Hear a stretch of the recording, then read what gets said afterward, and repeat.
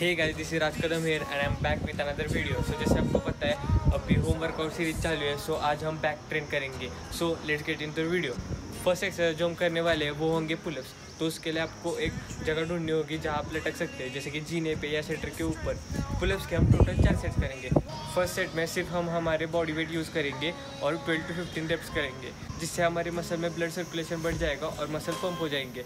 Second third और fourth set में हम बैग लेंगे उसमें वेट्स के लिए और फिर क्लब्स परफॉर्म करेंगे। सेकेंड एक्सरसाइज जो हम करने वाले हैं, वो होंगे पेंट ओवर उसके लिए आपको एक जिम बैग की ज़रूरत पड़ेगी या स्कूल बैग भी चलेगी। इसमें हम ब्रिक्स भरेंगे वेट्स के लिए। तो मैंने इसमें ब्रिक्स भरे। इस एक्सरसाइज से क्या होगा? हमारी बैक में मास ऐड हो जाएगा। और ये एक्सरसाइज हमारी लोअर बैक को टारगेट करती है। थर्ड एक्सरसाइज जो हम करने वाले वो होंगे single arm bent over rows तो उसके लिए भी हमें बैक की ज़रूरत पड़ेगी। ये एक्सरसाइज हम सिंगल आर्म से परफॉर्म करते हैं, जिससे क्या होता है, हम एक ही साइड को टारगेट करते हैं और हमारा माइंड मसल कनेक्शन अच्छा होता है। फोर्थ एक्सरसाइज जो हम करने वाले हैं, वो होंगे डेडलिफ्ट जैसे आपको पता है डेडलिफ्ट एक कंफर्ट एक्सरसाइज है, जिसमें हम हेवी जाते हैं। इस एक्सरसाइज से हम पूरी बैक को टारगेट करेंगे लोअर मिडल और अपर बैक को।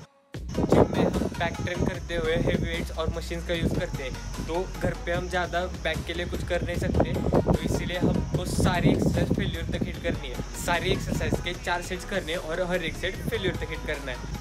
जैसे आपको पता है, अभी लॉकडाउन है, जिसकी वजह से सारे जिम्स बंद है। तो अभी मैं घर पे यही एक्सरसाइज परफॉर्म करता हूँ और मैंने चेस वर्कआउट पे वीडियो अपलोड की है link will be in the description this was all about the back workout अगर वीडियो अच्छी लगी हो तो लाइक करना कमेंट करना और subscribe to my YouTube channel अगर आपके कोई क्वेश्चन हो गए तो कमेंट में लिख देना, मैं आपको ज़रूर रिप्लाई करूँगा। Thanks for watching be home be safe and keep us peace out